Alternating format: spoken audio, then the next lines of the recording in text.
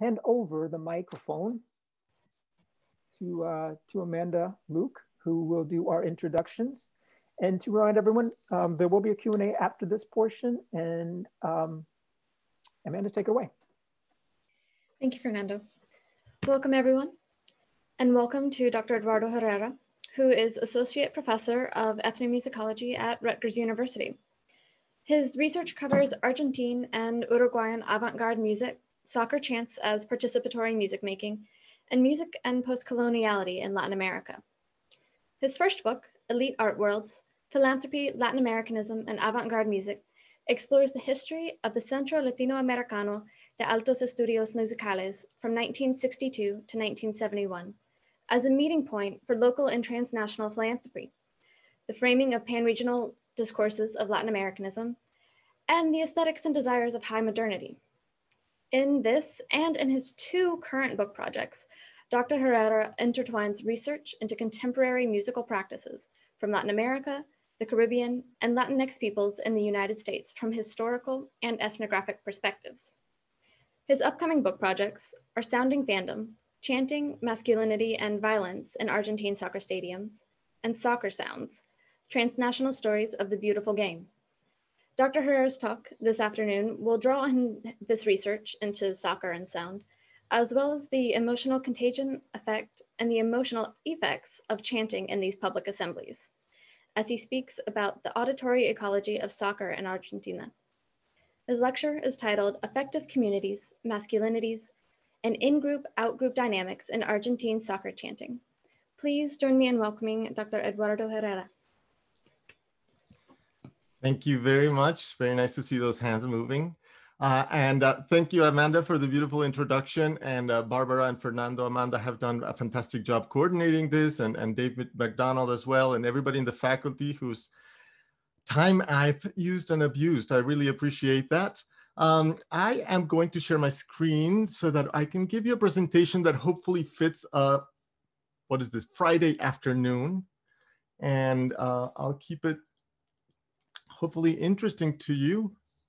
And um, I guess if you have any questions or if there's any problems uh, that I might be having with audio or something, just let me know through the chat or, or break into the microphone. Um, a, a quick disclaimer.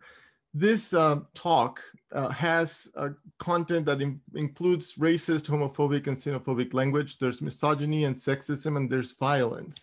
So uh, uh, just one, um, just that heads up. Also, even though I think the volumes are as close as possible as level, some of the videos, because of you know soccer and fandom suddenly exploding, can get a little loud. So if you are you know close to your microphone or sorry to your um, headphone volume, that would be best. But I'll let you know. So affective communities, masculinities, and in-group, out-group dynamics. Boca Juniors is playing. Buenos Aires changes. There is a vibrancy that can be felt, the shared emotion of a seductive obsession that takes over on match day. There is a large number of adults and children wearing jerseys, pants, shorts, scarves, or hats featuring the blue and yellow colors of the club. Some gather on the street, mostly men with beers or bottles of Fernet to be mixed with Coca-Cola. Others are inside neighborhood uh, cafes waiting for the match.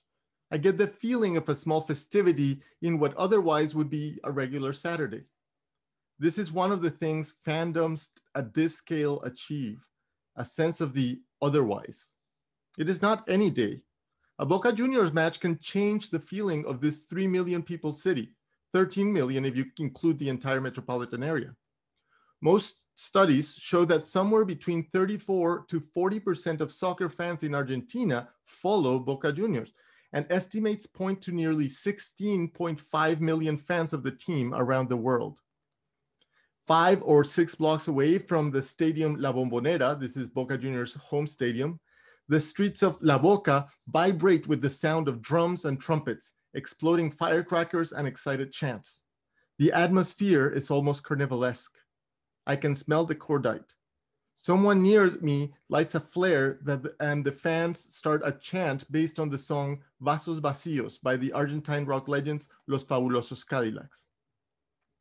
The streets are simply not the same anymore. With a raised arm in a throwing movement with low, loose, loose wrists, hundreds of fans, mostly mains, ma males, sing loudly.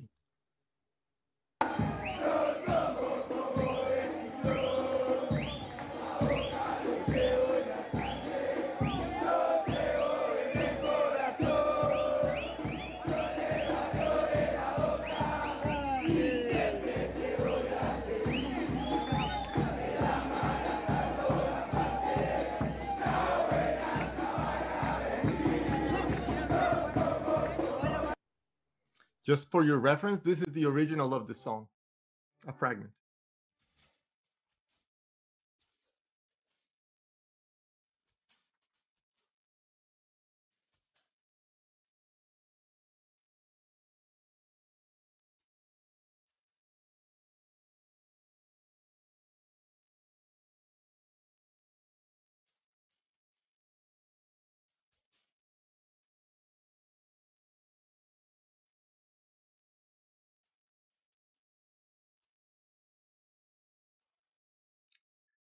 That song sounds like Friday. In this chant, as in many others, both blood and heart are often used metonymically to underline the embodied and unchanging nature of emotions. The heart is a container that carries your love for the team, your blood, part of your heritage of who you are. Fandom circulates within an economy of emotion that creates a sense of unity among people that might never know each other personally an affective community of sorts. The fans' passionate singing begins by naming the neighborhood that hosts the team, La Boca. Most of the fans do not actually come from this neighborhood, but La Boca stands for grassroots, for El Pueblo, the people, especially when opposed to their main rivals, River Plate, a team associated with Barrio Norte, the upper class, money, and elitism. I should say that Boca Juniors and River Plate are perhaps the ones that have the more uh, a chance of fans that don't live in the neighborhood. Other than that, the majority of, of, of people kind of root for their neighborhood or their um, childhood neighborhood. The second and third phrases bring up core values of what Argentines called aguante. Having aguante means demonstrating courage, bravado, endurance, stoicism, and in some cases, fearlessness in physical confrontation. The repeated performance of fandom results in embodied signs of aguante, techniques of the body, reiterative gestures, ways of singing, tattoos, scars, and even drinking to the limit. They all give concrete materiality to fandom.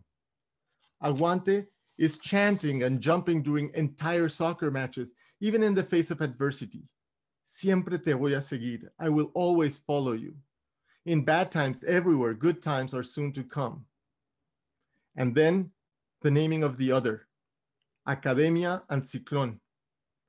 We are not like them. An in-group, out-group dynamic is performed through moving and sounding in synchrony, and it is in this way that a sense of belonging is most commonly experienced.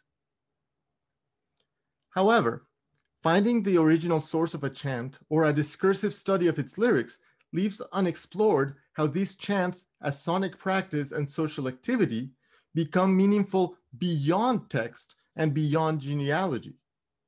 I believe that the ethnomusicological study of chants can expand our understanding of the potentials that participatory moving and sounding in synchrony have when people assemble. What I suggest here is to understand soccer chants as a plural performative social space. By producing and reproducing ideas about fandom, group identity, and particularly manhood, chanting as a collective action acts as a type of mass ritual. The repetitive and redundant performances elicit peer group validation of behaviors and emotions associated with a particular type of masculinity. What we will see as problematic later on is that this masculinity can be centered around transactional violence that uses as currency homophobia, racism, and xenophobia. But before we delve into that, let me share with you how chanting works with uh, and also the social organization of the stadium. First off, I use the word chant to describe collective synchronized utterances that range from liminal speech to more conventional songs. So some, some are really basically something you would short that you would say, and then other things are full-on songs. One side of the spectrum shows little variation in tone, reduced intervallic range, and unremarkable rhythm organization. For instance, the assertion of historical dominance over another team by declaring them their sons, hijos nuestros, hijos nuestros.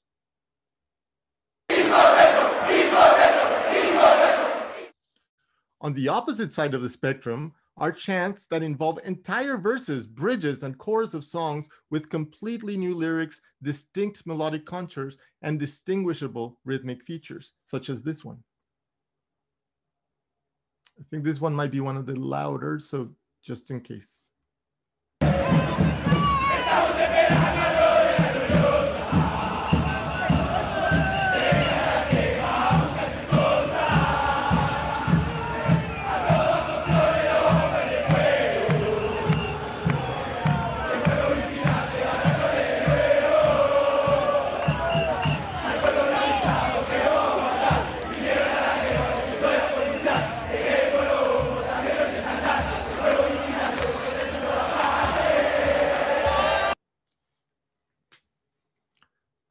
To my knowledge, all chants used in Argentina have a source in popular mass mediated songs, commercial jingles, institutional and political advertisements, or soundtracks for TV shows.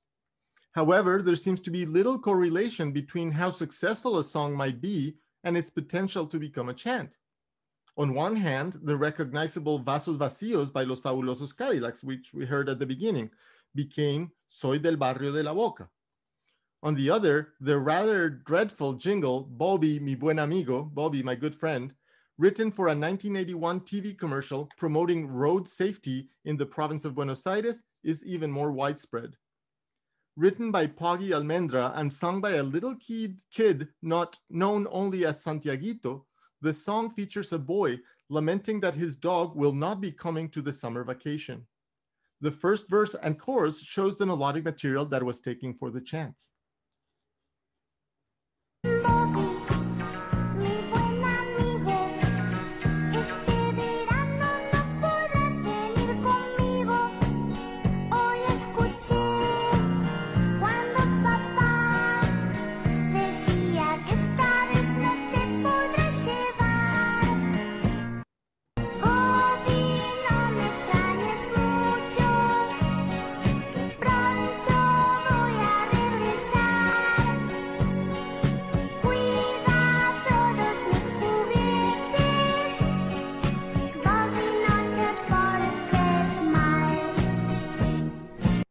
Many still wonder why the dog was not allowed to join the summer trip if he had a constant behavior that could be aligned with misbehaving, or what this song could possibly have to do with road safety. Still, the melody to this song is the entrance chant to most teams around the country. Here, for example, are the fans of Boca Juniors and then the fans from Racing de Avellaneda.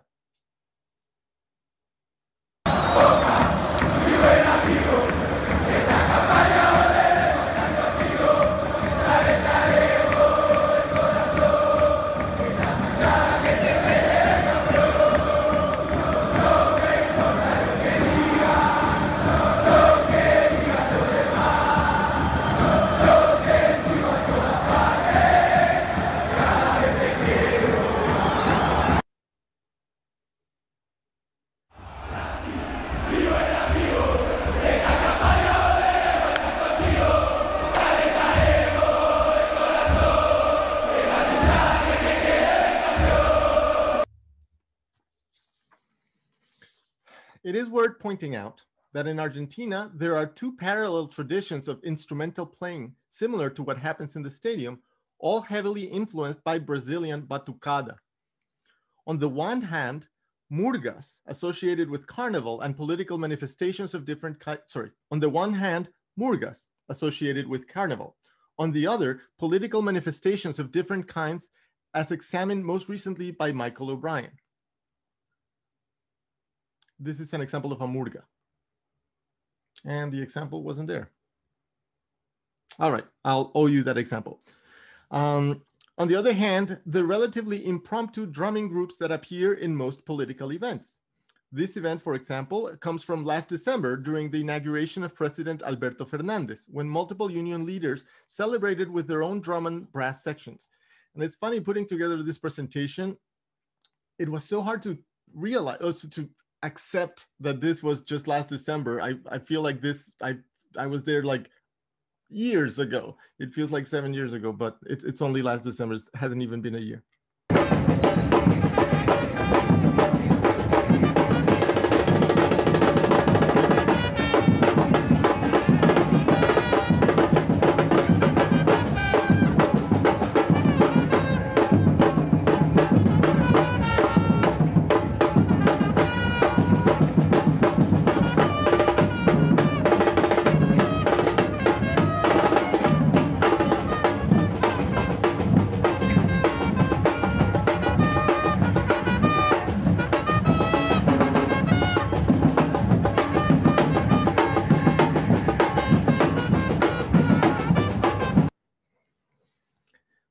Overlap between murgas, soccer, political, uh, political venues creates an indexicality between the political, the carnivalesque, and soccer.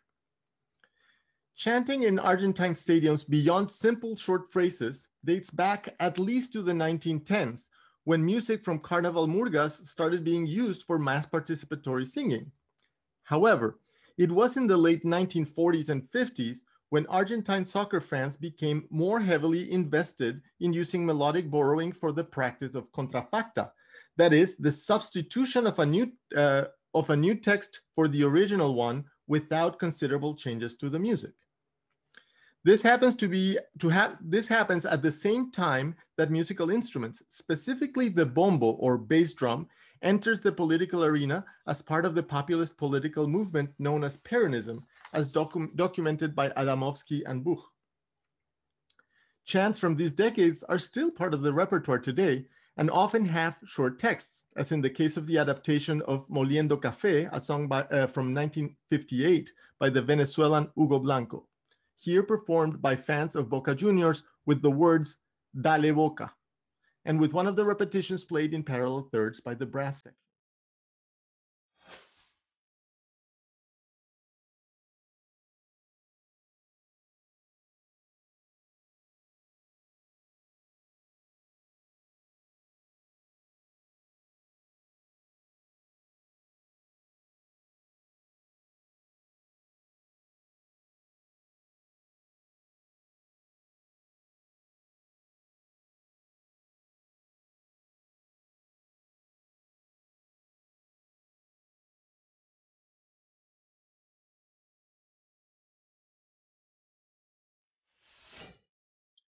I, I do have a, a, a, very weak theory that I, I, don't even write about yet, but I do feel that the more time passes, the, the more lyrics are used within the text, within the chants, right? Like the original chants are very much like this, very simple lyrics, uh, or the earlier chants. Not always true, but but it seems to be that way.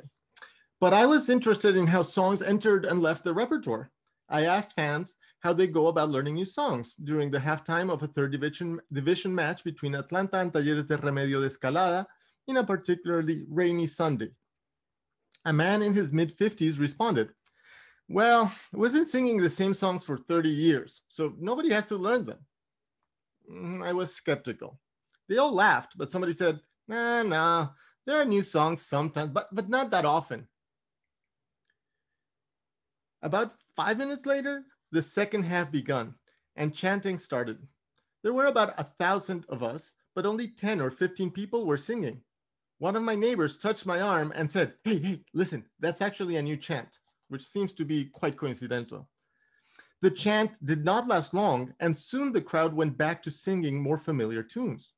After the match, I asked some of those who sang how they had learned the chant. All responded the same through YouTube or the team's Facebook page social media has become the main path for the dissemination of new chants among fans. Let me give you an example. On January 13, 2017, a new song by Puerto Rican artist Luis Fonsi featuring Daddy Yankee was released simultaneously as an audio track on music streaming services and as a video on YouTube. It went something like this. Song Despacito, with its catchy mix of cumbia and reggaeton, allowed Fonsi to quickly climb up the Latin pop charts. Even faster was the ascent that fans began, uh, as fans began to create chants based on this song. About three weeks after the song's release and before the season had even started, fans of San Lorenzo de Almagro had uploaded on YouTube their own version, which was being shared with subtitles so that other fans could easily learn it. So this is even before it was like a, the big summer hit. This was February. Here's uh, what they uploaded.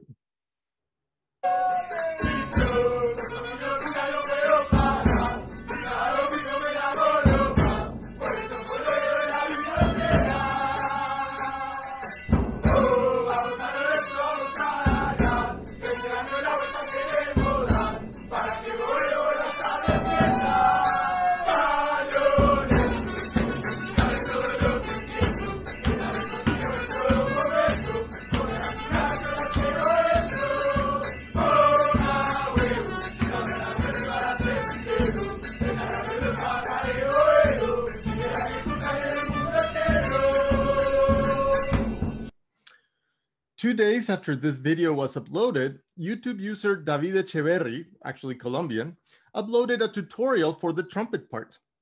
By the time it was taken down, the video had nearly 409,000 views. And I was actually curious if this was a lot for trumpet players. So I, I went and did some, some silly digging and uh, this 490,000 views is more than all but the top five most viewed videos on the YouTube channel of the slightly more famous trumpet player, Wynton Marsalis. When the season finally started on March 11, fans of San Lorenzo, oh, sorry, this is the lesson.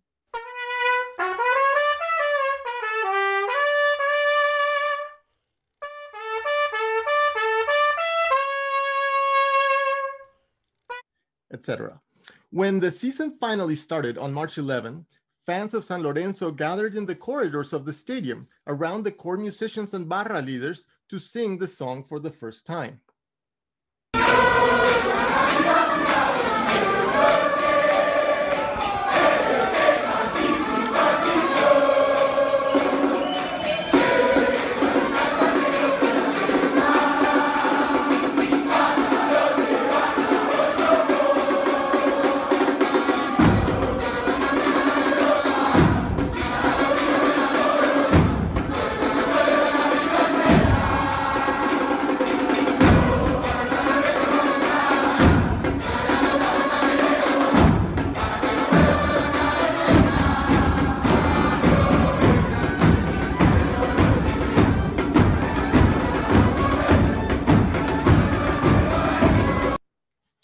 See that people still don't know it, but they're trying to get into it and, and trying to learn it slowly. Um, shifting back to a more analytical perspective, I'd like to point out that the attention to the purely verbal component of terrace chanting has led to gaps in our understanding of the practice precisely as not speech. As a sonic practice and a social activity, chanting in soccer is a highly participatory performance tradition. And like presentational oriental, uh, oriented practices, the main goal of soccer chanting in Argentina is not quality of performance, but participation, sounding and moving together in synchrony. Within those who come to the stadium, there are clear roles, both in terms of fandom, music making, and internal hierarchies of the fan base. People that regularly attend matches are generally identified as hinchas or aficionados. Among them are the hinchada militante, who pride themselves on attending every match, regardless of weather conditions or the team performance. Their usual play in the place in the stadium is behind one of the goals, where always standing, they will chant through the whole match. The most important subgroup among these militant fans often call themselves La Barra, a team, a term I will use here, but they also call themselves La Hinchada, La Banda, Los Pibes, or La Pandilla. The barras in Argentina tend to create clientelistic networks with club executives, coaching staff, and even players. This gives them the privileges that most people don't have, such as early access to the stadium with drums, trumpets, trombones, giant banners, and even fireworks, usually prohibited to regular audiences. And I always remember that uh, every off, every so often I would arrive quite early to the stadium and I would bring a book or, or something along those lines just to, to keep myself busy while, while things started. And uh, uh, the cops often gave me a hard time. They were like, why are you bringing this in? I was for reading. I think they assumed I was going to like burn it or something or throw it to the referee. Um, so it, it's interesting that they just enter with these massive things. So here, for instance, we have um, the fans for uh, Vélez, Vélez Sarsfield. These are the fans of Ferro setting up the, the flags and um, right, right before the, it's just early in the, in the match. Same here for Independiente. Internally, these barras have leaders. They're known as capos or jefes. Surrounding and protecting the capos are, uh, and second in the hierarchy, are the followers or la tropa, los seguidores. They're usually standing on those um, metal bars that protect from, from uh, uh, crushing uh, avalanches. Capos and their tropa benefit from increased prestige neighborhood recognition, and the significant profits from endeavors almost always outside the law, such as resale of tickets, sales of pirate merchandise, uh, charging for public parking during matches, and even drug sales. Besides aguante, capos often showed diplomatic and intimidating skills, which they used ne uh, to negotiate with club executives and the police, as well to mediate among the rest of the barras to organize them, diffuse them, and escalate the reactions. Capos are exceptionally talented at reading social cues to determine when it's a good moment for a compliment, a threat, or physical violence. The core, the core of all synchronized sounding in the stadium comes from the middle of where the barras are located. There, one finds the central and most ubiquitous, ubiquitous instrument in Argentine soccer stadiums, the bombo con platillo, usually decorated with the colors and emblems of the team, as well as the name of the barras. Also central are the redoblante, seen here on uh, the middle, and the repique, uh, the game given to Brazilian uh, repinique drum, which we can actually see here on the left, and also there next to those bombos. Most clubs uh, have at least three trumpet players and include trombones, fairly often. When a chant starts, all of these instruments gradually join in, adding to the overall cohesion of the chanting. So here's our uh, um, um, the moment when a chart uh, a chant is just starting, and there's actually two chants kind of competing for a second, and then one disappears and the other one settles.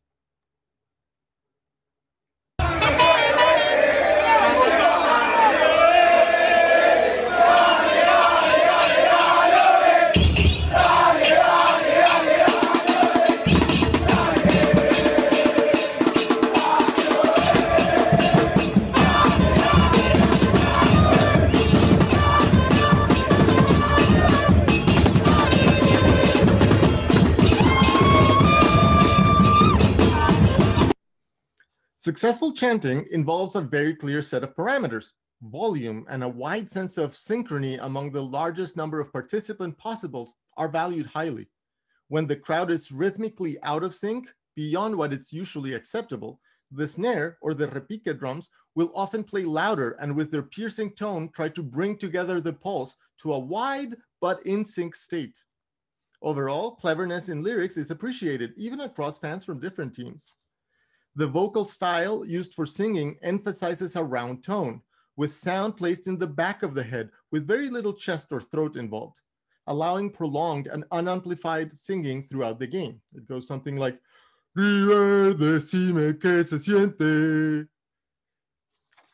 For chants with clear melodic contours, singing is expected to have a wide tuning and the high density of texture and timbre provides ideal cloaking of individual contributions that might not be too close to the expected pitches. In other words, if you're a poor singer, it doesn't matter, join.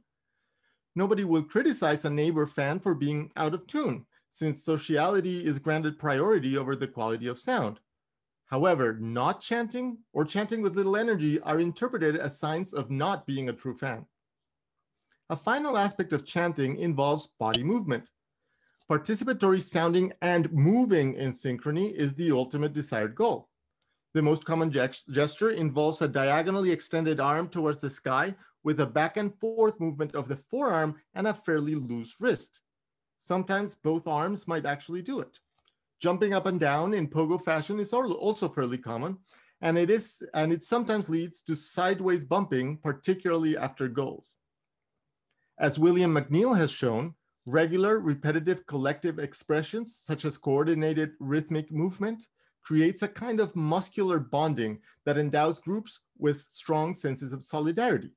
Think here of, of soldiers in training camp, for example, or even the movement that one does in different religious practices where everybody's doing the same movements. Um, all of these factors described here come together in a ritual-like practice of moving and sounding together in the stadium, which becomes a powerful affective space and crucial in producing a collective and embodied sense of belonging. While I have focused here in how sounding and moving in synchrony connects fans intimately, one cannot assume that these connections are necessarily positive. In her 2004 article, Affective Economies, Sara Ahmed starts by asking, how do emotions work to align some su subjects with some others and against other others? How do emotions move between bodies? But what if we were to understand that emotions don't move between bodies, but are experienced as collective or shared affect? Is there such a thing as an affective we, an affective community, or is the body the boundary of emotion, limiting, limiting us to share as similar to those of others, but never exactly the same? Social psychologists and evolutionary anthropologists have demonstrated that humans and other primates have an innate capacity for basic emotional contagion.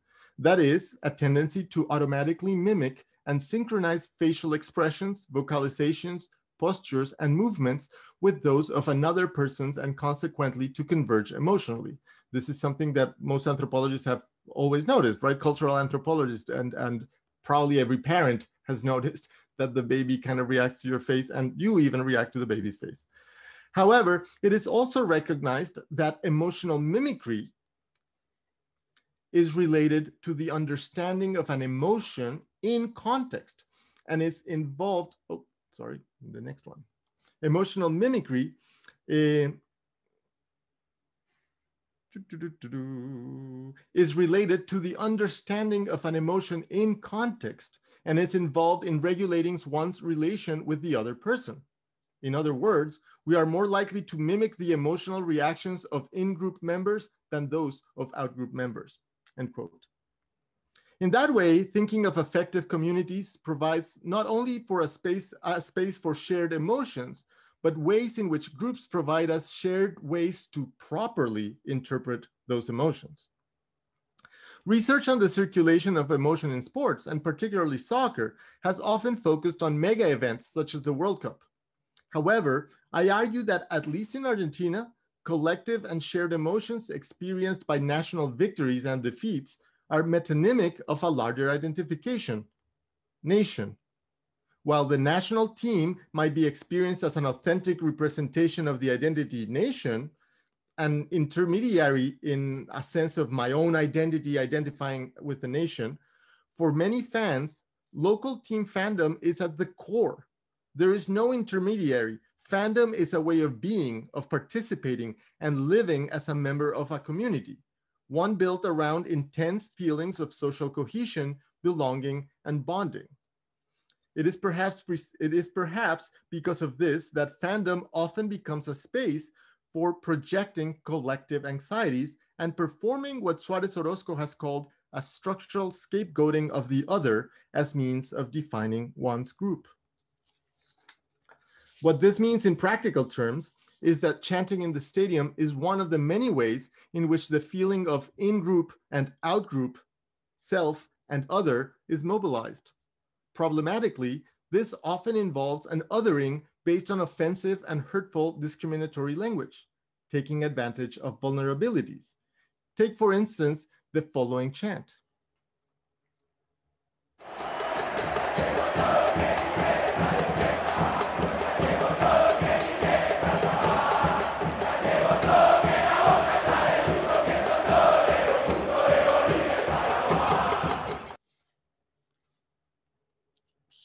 here, actually, that's a good one too, so I'll just leave it.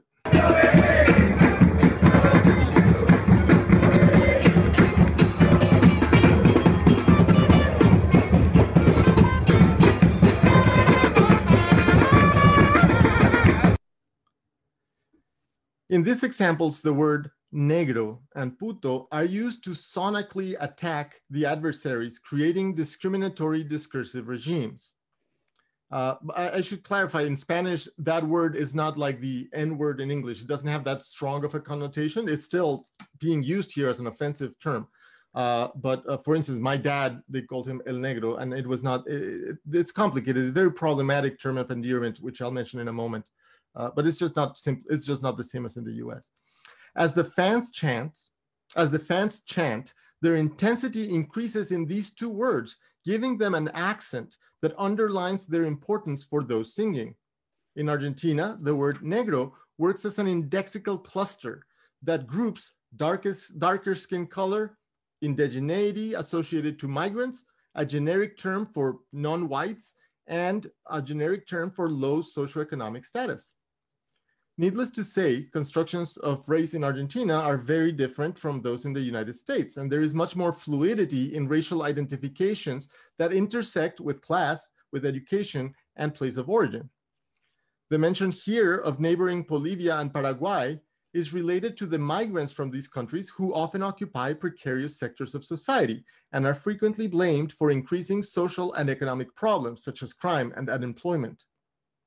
Now, we have to understand Buenos Aires has a large sector, sector of its population that identify as being white and of European descent, and has imagined a dangerous other with lesser claims to the nation.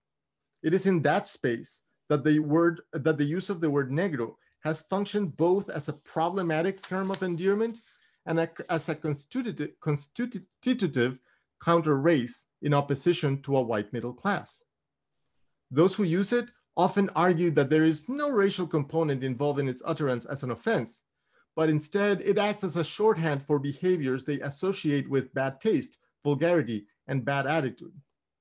However, of course, like with the word puto, race, class, and gender often are inseparable in practice from judgments and hierarchies of taste and claims of appropriateness. These words are being read and pronounced in an accusatory manner, used to demean, to stigmatize, and to reduce the recipient.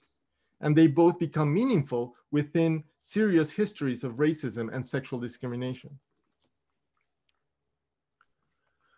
While racist and anti-Semitic chants have gradually, but relatively efficiently made it out of the stadium, contemporary chants often involve sonic attacks to the opposing teams, players, and fans that are androcentric, heteronormative, and homophobic, as you might have noticed throughout the examples of this presentation.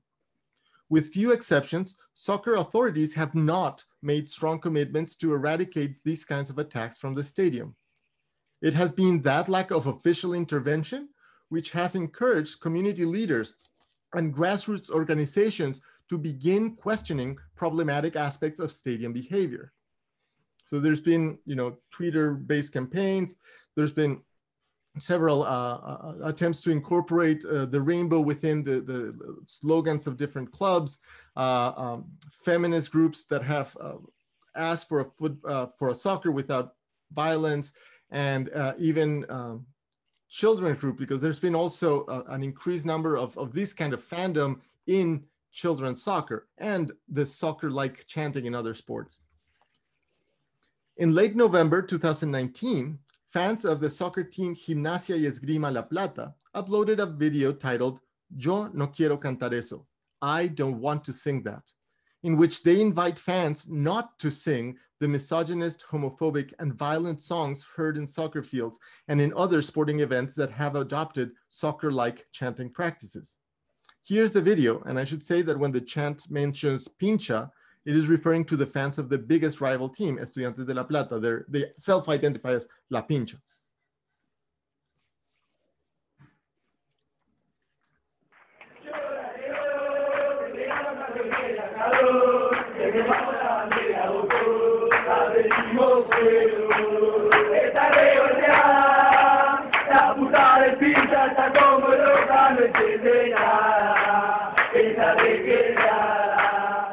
Golpeada. La puta del pincha está como loca, no entiende nada. Está requebrada.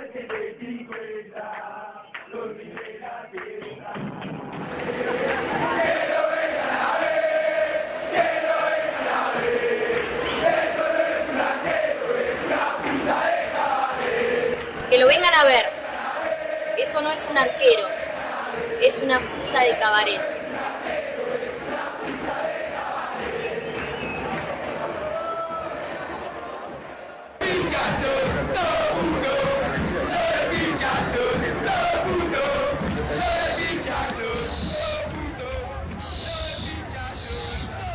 Lo del pincha son todos putos.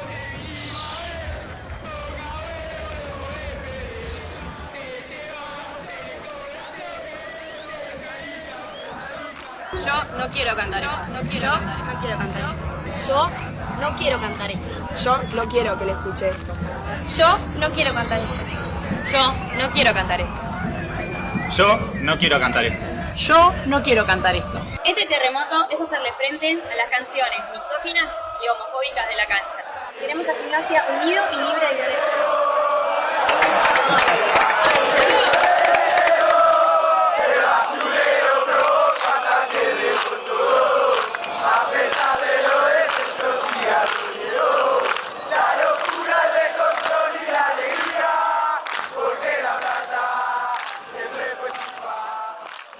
By adding statistics to the video, this group makes explicit con the connection between chants and femicide, sex trafficking, and violence against members of the LGBTQIA plus community. The group received both praises and also criticisms and threats on social media. So here are some of the ones I, I, I took some screenshots, but uh, the first one says, seriously, stop busting balls. These songs have been sung forever. And just now you come and bust balls with this patriarchy, patriarchy misogyny, homophobia, etc. Oh my God. The next one says, uh, do you want to do something productive for the LGBT collective? Go to the embassy of Iran and protest that country that executes homosexuals. This one, well, starts with uh, what imbeciles. And the next one says, ah, the day they take folklore out of soccer, nobody will ever go to the field again. Stop the bollocks complain. And if you don't like what it's being sung in stadiums, well, don't go anymore. Much more than profound, much more than profound, simple delivery of lyrics, the sharing of a specific repertoire by gathered bodies becomes an important embodied practice and basis for powerful shared affective connections. Not at all, not all necessarily positive. Chanting remains a refuge for misogyny, homophobia, normalization of gender violence, racism, anti-Semitism, and other discriminatory practices as we all take more aggressive stances towards social justice so that they become the, north, the, the norm, it is worth questioning if further attention and regulation of chanting practices in soccer stadiums could lead toward positive social values, towards a more inclusive, progressive, and caring masculinity. Some positive aspects of the masculinities that emerge in Argentine stadiums remain heavily understudied.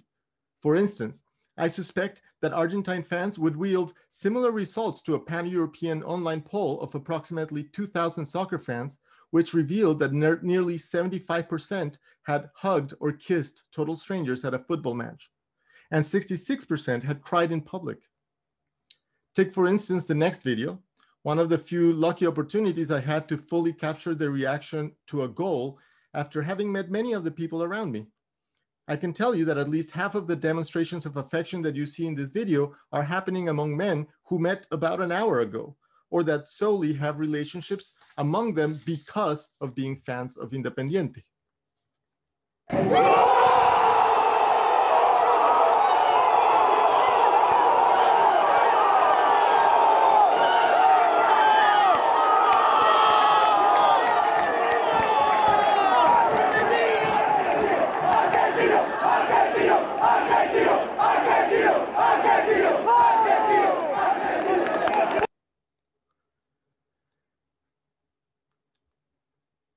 If the stadium is a space where, yes, if the stadium uh, is a space where plural bodies name and in doing so bring into being certain kinds of masculinities that we often associate with violence and discrimination, they also may include ways of expressing feelings of joy, despair, and affection that might give sense to a broader and much more inclusive masculinity. This study sheds important light on how chanting functions as a type of collective action akin to mass ritual, and how synchronized sounding and moving in public spaces, specifically in the stadium, can potentially relate to similar collective performances in political rallies, religious activities, and protest movements. Thank you very much for your attention.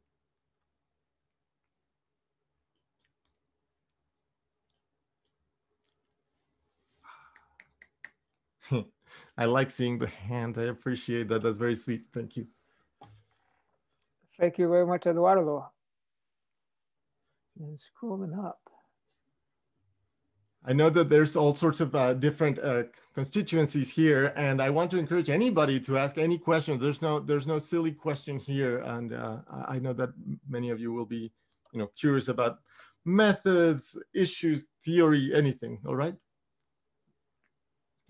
Give them a second to start organizing themselves. And I see Stella uh, raising her hand. I encourage you to use the raise hand on the on the participants. But Stella, you want to ask a question?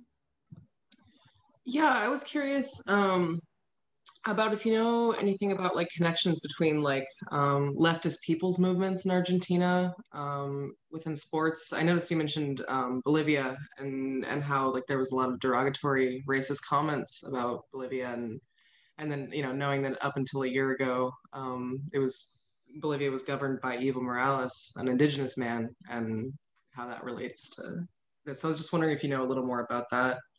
Yeah, that's a that's a, a, a complex and fascinating question. You're basically pointing at the holy grail of soccer studies in Argentina, which is finding a direct connection between Peronism or the new versions of you know leftist populist thinking of some sort and soccer fans. And they're all kind of weak to some degree and strong in another degree. And I'll tell you what I mean they're weak in the sense that they're not the same, right? Like they're separate and, and no one club stands or one fan group stands for a political group. But there's also a very important aspect to consider that when those political groups, and it's not just unions, but when a politician wants to make a protest because, you know, just to create, you know, disorder and, and kind of make a point, they will call the leaders of these groups to be kind of like the, the, the, the music makers and also the troublemakers. I, when I mentioned that these people engage often in, in illegal activities, I was not, not exaggerating. And so, so there is that connection. Um, the Bolivia connection, which I understand why you're pointing at at the left, um, Argentina was in a similar situation in terms of a, of a progressive president with uh, Nestor Kirchner and then after with Cristina Fernandez.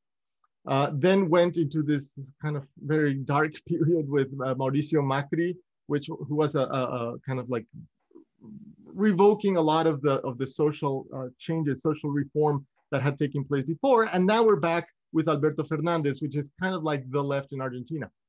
The problem is that this left that emerged in the last, late, late 1990s and early 2000s in Latin America has somehow disappointed the youth.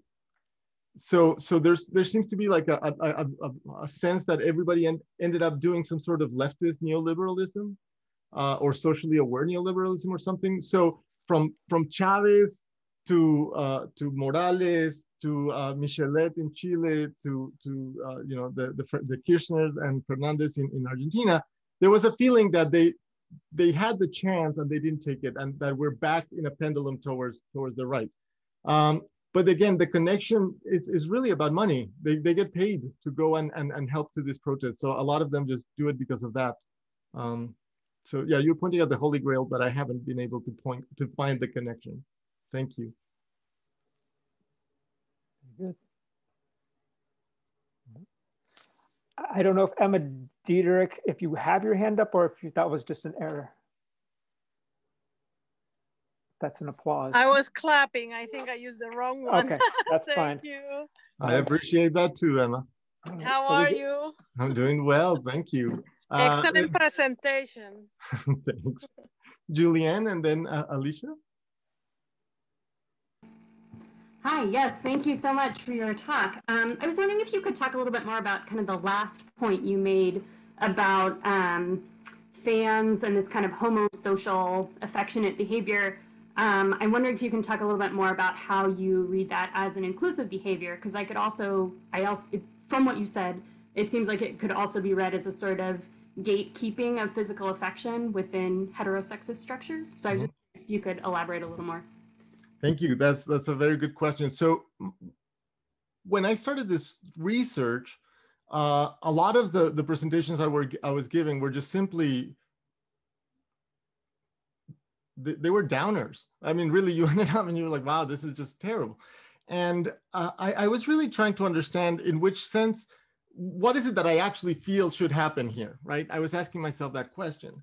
And due to mistakes of mine during fieldwork, you know, and, and things along those lines, I often ended up in the wrong side of the stadium where these fans are not, right? And those fans, are, those spaces are much more family friendly. Uh, because I'll, I'll divide the, the conversation for a second. Those spaces are much more family friendly. And I know that there's an attempt to imitate this kind of uh, environment, but people are afraid of the pushing, the shoving. Actually, people are not afraid of the of the language. You, you still see, you know, seven year olds and eight year olds screaming these things just, just like that. That's a different problem. But they do not like the, the possibility of violence.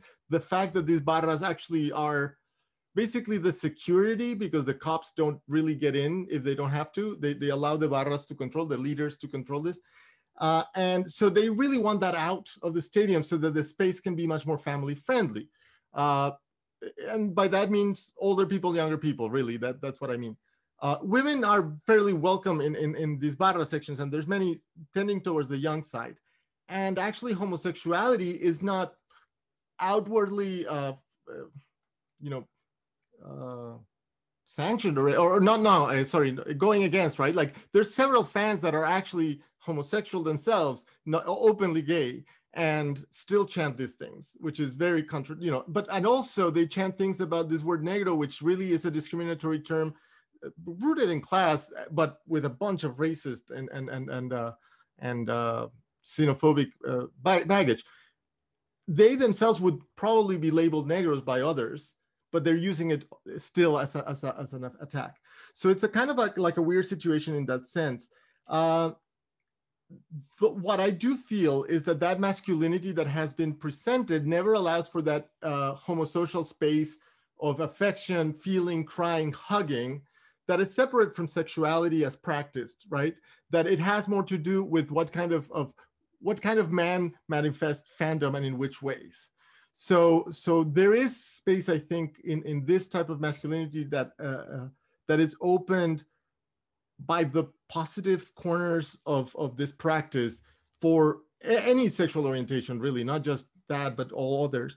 Uh, and finally, I will say, um, I just lost my train of thought. I wanted to point something out. To, do well, I'll come back to it because I, I forgot for a second but but yes, that's what I, I I would answer to that. Thank you. And and and I think Alicia.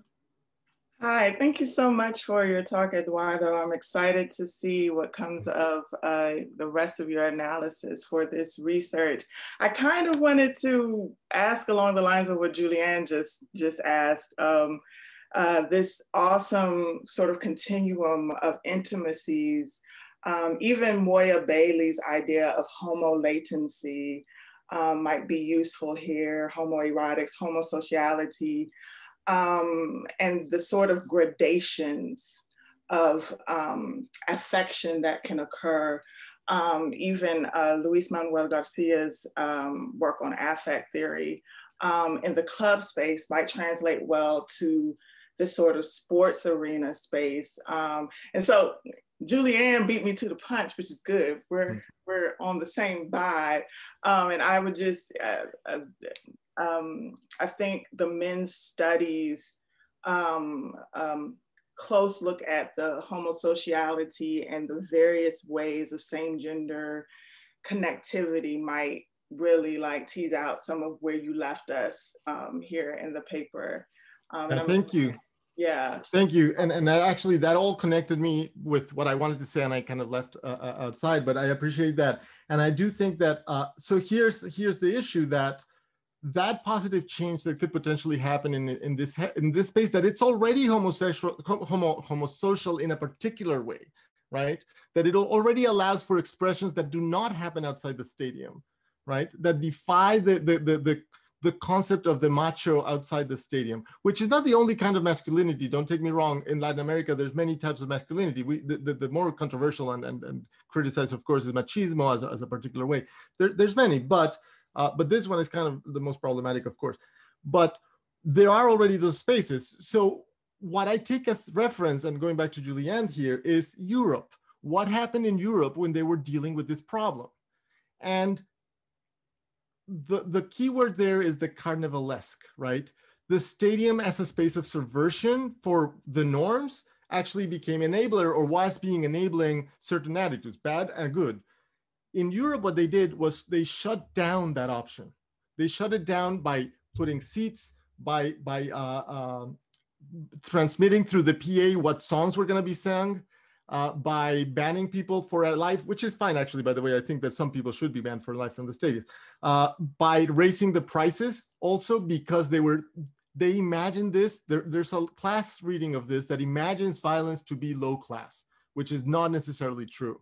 There's, there's anybody could be engaged in the violence that they're being critical, but they take with low class. So in Europe, it's very difficult to go to the stadium, and it became a TV sport which actually I've, I've, been thinking for one of, for for the book that is more theoretical, that idea of the collective affect uh, or the shared affect, which are different. Uh, my cat is saying hi. Um, collective affect or shared affect, as can it happen over a distance, right? Like television puts us in a, in a weird, uh, the, the mass mediation of, of soccer puts us in a distance. Can, can that actually happen or not? And, and there's work on that as well.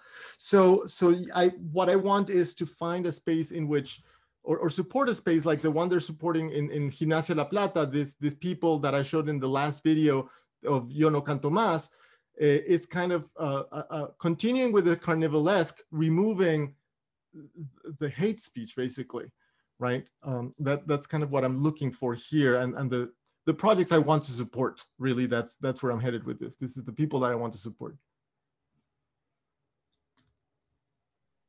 Pravina had her hand up next.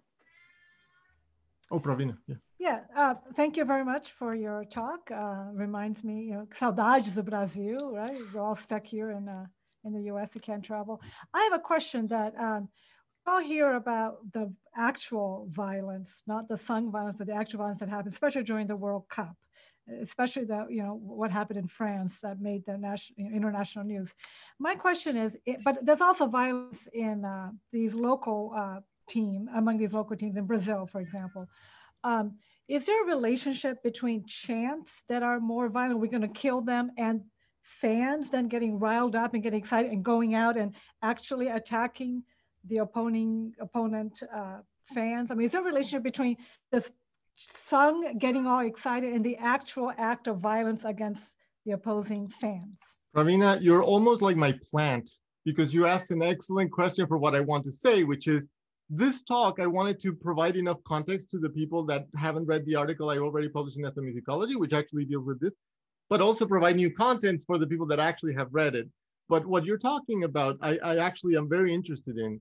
And in fact, this is the second reason why it was a great question.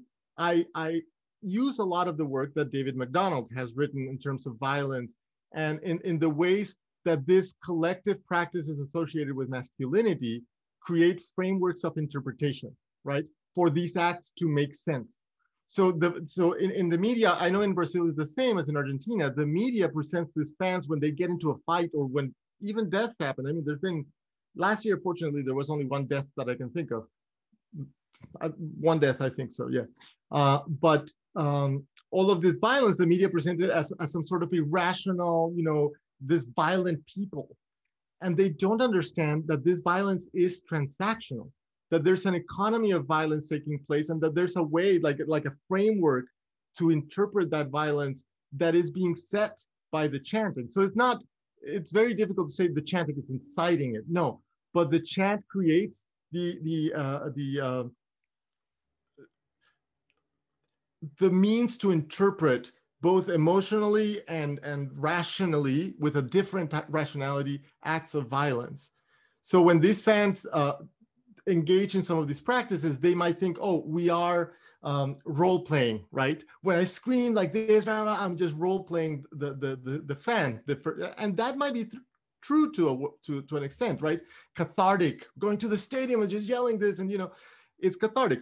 But to some degree also there's a, there's a dissonance, a cognitive dissonance that is taking place, right? When I sing, I will kill these other people because this team is my life, at what at what point do I start not blurring those distinctions and and really living because that experience feels very authentic and I'm using that word very specifically because it's it's a complicated word but the experience feels authentic. You feel part of the group because you're moving together you're sounding together the whole floor you're all moving it together. So you're accomplishing something outside of, of word discourse as a collective. So when you go out you feel as a collective. And somebody gets attacked 15 jump in right? Like there's no not even thinking. It's it's it's it's that mentality. So i talk about de-individuation uh, mu music scholars uh, we've all focused on community building in in uh, music but the other side of that coin is de-individuation.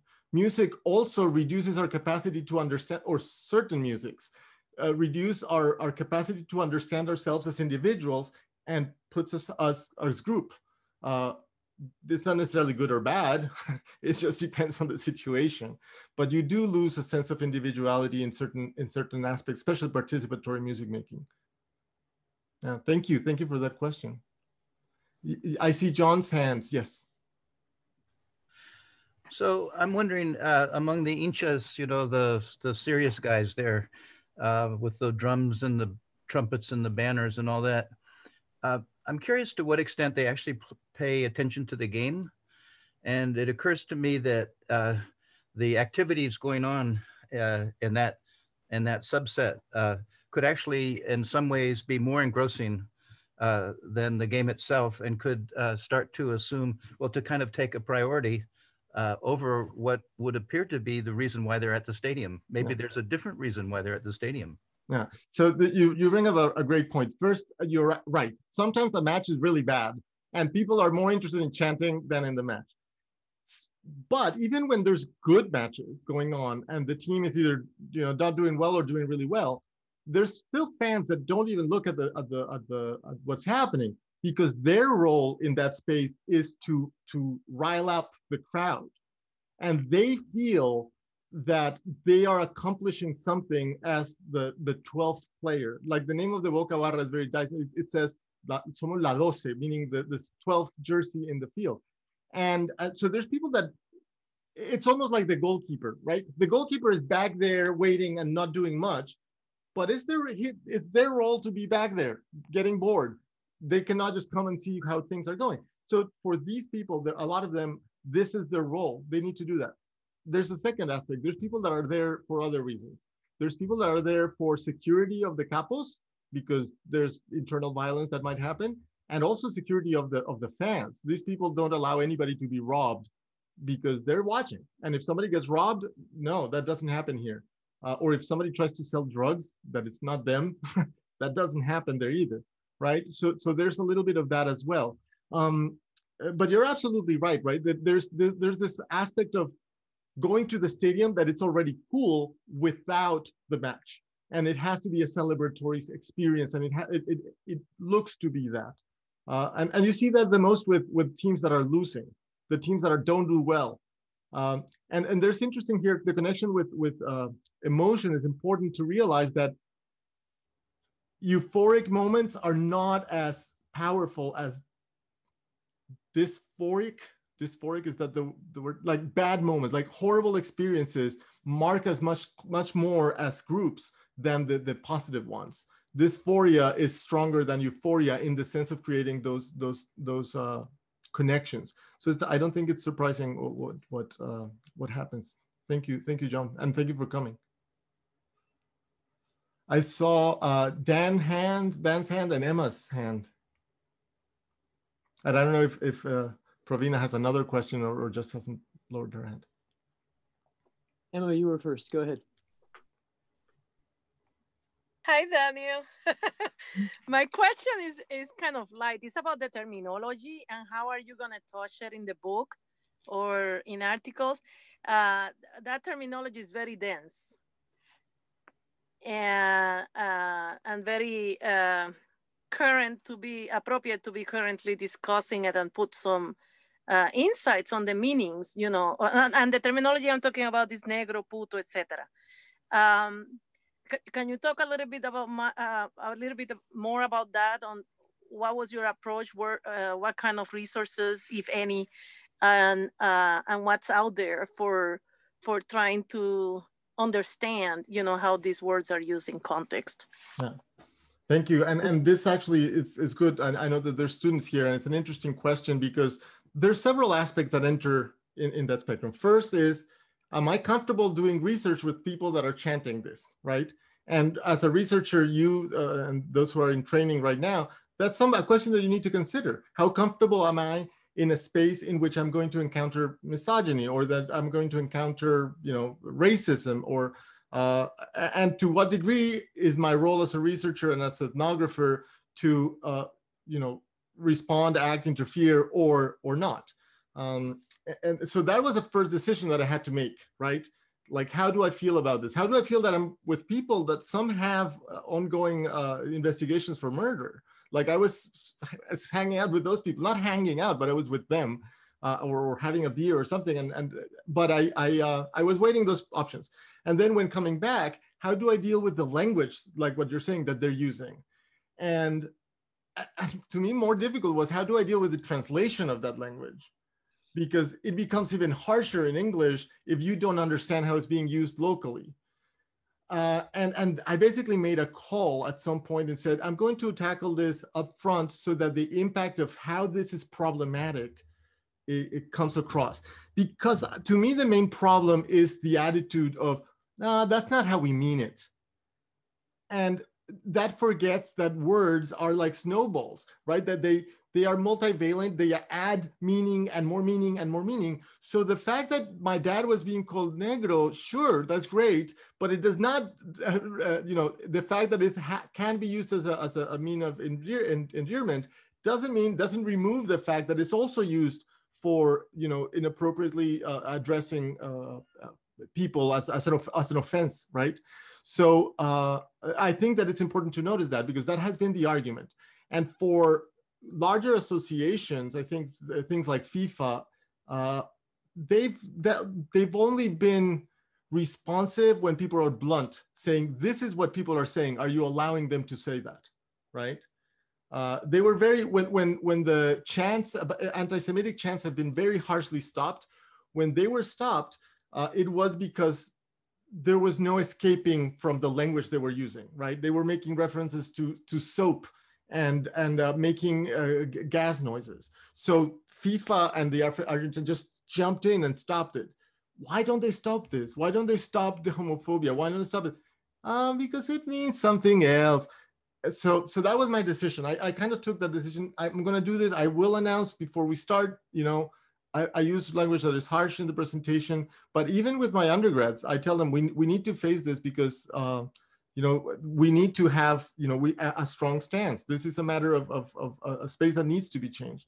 So thank you for that. There's another thing that the two books, uh, I'm working on two books. One that was put on hold because of COVID, that is the more ethnographic and more theoretical, which is this paper is part of that and and then one the the the uh, soccer sounds uh, transnational stories of the beautiful game. I, I don't yeah that, that's what it is.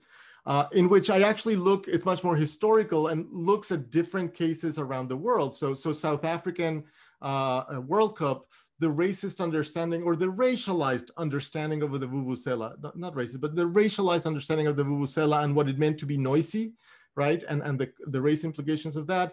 I look at, at the Mexican homophobic uh, chant, that same word being used in Mexico. I used, uh, uh, I look at uh, Egypt and Chile, in which uh, Stella's question is actually much easier to answer because there's very clear fans that were part of the Arab Spring and that were part of the Chile, Chilean protest last year. They're like the fans went out with their shirts to do that, right? So in those cases, it's very clear uh, with the with our women's national team, uh, the, the the equal pay chant, right? Um, so so same there. I, I want to point out that the use of chants for for uh, and sound in, in sports for a more positive note, I guess. Thank you for that. And uh, I, I missed the introduction. As, I, as you can see, actually, I still have the same Volkswagen that you ride on. So I'm sitting on it. So I've been driving around as I have been listening to the talk as I have had to do some errands. But uh, I, I, I missed the beginning. How do you, if you said it, how do you come about? Is it your passion for sports? Is it, uh, because this is very powerful what you're doing. Uh, coming from uh, uh, anthropology, folklore, ethnomusicologist, to all of those fields to actually encapsulate this terminology that is so political, social, etc., and to put it in writing I think you're doing a great service uh, to us as Latino to hmm. look at ourselves and actually say, hey, you know, put it out there. Let be offensive. Let mm. people disagree and let us look at ourselves and see what are we doing with this? Is this where we want to be defined? Are we okay with it? Or wow, I didn't mean it that way. Then fix it. Then change it. Mm. You know, or just embrace it and and become it. You know. But this is very powerful. So thank you. Thank you, thank you, Emma, and and uh, uh, uh Fernando. I do want a, uh, the copy of this recording so I can save that and, and listen to it when I'm feeling sad. I want to be like, this is what I need. That that's the pep talk I need. Uh, thank you, Emma. Daniel and uh, I, I know Barbara was also raising. So Daniel and then Barbara. Eduardo, thank you very much for your talk. I, have enjoyed it, as, enjoyed it as well. It's very rich and a lot, a lot to think about. Um, a natural point of comparison for us in the United States is uh, Colin Kaepernick and the eventual influence of Black Lives Matter on uh, professional sports in um, in this country. And you you mentioned something at some point when you were talking about the dissemination of the chants that if I if I heard you correctly that do the do the clubs themselves have uh, Facebook pages that are that are governed by by whom? By by the owners? By the administration of the club? Or that's a fascinating question because it's not an easy to answer. And by the way, Emma, I just realized I didn't answer your question, and I'll come back to that. The, the why did I get in this? But uh, Daniel, those pages uh, uh, are run mostly by the uh, the fan associations, right? Okay. But uh, there's multiple fans associations. I mostly talk about that core group of fans, and they do also have you know their own pages and they have their own name and everything like that. But those fans receive money from the executives, right? That, that's where I didn't explain that fully, but the clientelistic networks is those fans receive money that when possible pays for for for travel when they have to play in another in another place uh, that might pay for the buses or whatever. Uh, they also get free tickets which they often resell and they still go in the, the stadium. They just tell the cops to let them in but they often resell so it also makes money for them. Uh, so so uh, they do this, but they're also making money. So so the production of these videos and what what these things are coming out, it's it's uh it's still part of a of a money making uh, endeavor. And and honestly, I've I've seen a couple of people that I don't think they're really for the fandom there. There's people that are there for for the business, especially the drug part, if if it's if it's profitable. Okay. Well, my reason for asking you is that uh, you you're you're wanting to find a way to support the, the positive aspects of this tradition and remove the hate speech, if I understand you mm-hmm. correctly. yes, yes. Support that effort. Uh, and you showed us the example of the folks who are, uh, who are themselves there in Argentina trying to work toward those same aims. Um, I'm wondering where the power lies to, to, to determine, um, you know, what makes the content of the chants um, you know, is you know, at a certain point, the NFL owners here are like, okay, um, uh, obviously we're on the wrong side of this issue. We're, we're, you know, people are turning away. We're getting lower ratings. Um, you know, and then also, of course, more broadly speaking, in American sports, we have Le- LeBron James as another uh, players themselves who hold a certain amount of cachet and power to uh, work toward change. So, are are there players that are part of this, or, do, do the owner are the owners cognizant of the, the do they actually promote um, these associations and their Facebook pages or whatever the hate speech and to sort of look the other way or uh, how much is it, is it sanctioned and potentially controlled? All right, no, this is this is great. So first of all, you you made me think of something that I hadn't considered, But uh, this is where I'm headed, I guess, with, with what I want to do now or next. Uh, my plan this uh, spring, which didn't happen, was working with this group of uh, Gimnasia, the, the, the, the, ones that were doing the Yo No Canto Esto. And uh, I've been trying to, basically the money I had to go was, you know, institutional money that now I want to give them so that they can do their work and, and, and promote that, that particular work.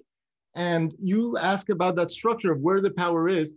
And I think that's what needs to happen, which is basically fragment that power because that concentrated power in those barras is what creates the problem, right? And these groups that, that you're mentioning and you're wondering, hey, so who's doing what? They're always on the margins.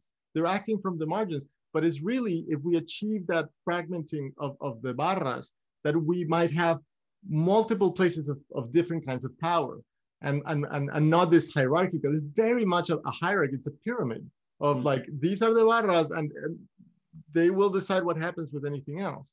Uh, so, and those barras are the ones that threatened that, those particular fans that were asking for stopping those chanting, right? Like they're part of the of the people that threatened them. And uh, there's another group in which uh, uh there was a woman in the in the club Atlanta who was in, in just uh, very much committed to this cause, and at some point stopped because they were breaking her windows and and her car was being you know keyed and and things like that.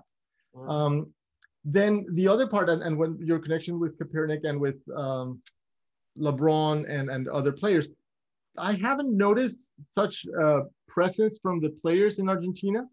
Uh, uh, it's been more through through the fandom. They've been very quiet, and the and the the club executives as well, very very quiet. However, one of the one of the chapters I, I have in this uh, book talks about the the rise of a neoliberal tolerance and this refers to uh, a moment in which it's more expensive to not be to it's more expensive to not be tolerant than to be tolerant. And that moment you jump and start, you know, stopping these things from happening. Uh, so that happened with Mexico in the U.S. and uh, you know Me Mexico team playing in the U.S. and uh, and in Mexico, which was they were being first of all they were being charged ten thousand dollars and they just paid it. But at some point they started uh, threatening that with a third warning, they would not have any audience. And that's, that's millions of dollars. Mm-hmm. And immediately the, the, the, the, the problem started stopping. The, the soccer players would stop and, and ask the audience to stop singing, right? Like they, they, the fans themselves would turn because they knew this was problematic. So, so uh, in, in that sense, this kind of neoliberal uh, uh, understanding of what tolerance is and, and what the cost of being tolerant or, intolerant is becomes kind of relevant. Uh, thank you for, for that question, especially for the fragmenting. I need to think more about that idea, but that explosion of power. Uh, can I uh, interrupt real quick? Yes. So I'm going to just say, Dave, you're going to be the last question because I think some of us do have to go on to other spaces after 5 p.m. But I also want to invite everyone to come back in about what is traditional in, in, the colloquium series that we have always done, but don't do it now because of COVID, is we would probably go to Nick's and have a drink, have a bite to eat, and engage you with many more questions. I have four of my own that I would like to ask you and some comments as well, but I will always refer to the floor. So Dave, you will have the last question and then we'll take a break. I'll stay in this room. If you wanna just go get your drink and come back, that's great. But about 15, 20 minutes, we'll resume with a cocktail hour. Sounds delicious. I can share recipes. Thank you, Eduardo. Um, something just came to mind in your your response to Daniel's great question, and that is um, the history of segregation and Alabama football. And what this history shows is that the legendary coach of Alabama football, Bear Bryant, at the time, um, came out progressively in support of desegregation, not because that was in his heart so much as he was having a hard time recruiting and he and he wanted to improve the chances of his football team winning championships by including black players. And he felt limited in his ability to, to win unless he could recruit black players to the University of Alabama. And that is what ultimately changed his policy and then became the, the catalyst for um, change in Alabama is the football fans and boosters wanted their team to win games, and that is what compelled their political change. So, like you said, the cost of intolerance. And in this case, I would I would love it if you kind of looked into that history of intolerance in college football for as a great example for it was the losing football games which caused them to rethink their ideas on segregation, which to me is just mind blowing. Yeah, and, and, and since you mentioned it, also our history in colleges of, of quote unquote mascots and the cost of removing or not removing a mascot in terms of alumni uh, donation, right? Like one of the reasons that those things don't change is because alumni will pull out. So, but at some point, there's a breaking point in the budget, right? Like, like that, that right. very much. Uh, uh, As we learned at Illinois with Chief WEC, yeah. it was the chief was only removed when it became more expensive to keep it around. Yep. It was not. It was not made. It was not a decision made on on principles, but on exactly. On thank you, Eduardo. Thank you, and thank you so much, everybody that came, and uh, hopefully you can stay and have a, a, a drink. Uh, I, I really enjoyed talking, and even though it's weird in, in, in Zoom, I felt like a lot of, of uh, I don't know, good energy. Yeah, if you can, either turn your cameras on or use the reaction emoticons. Thank you very much for the wonderful talk.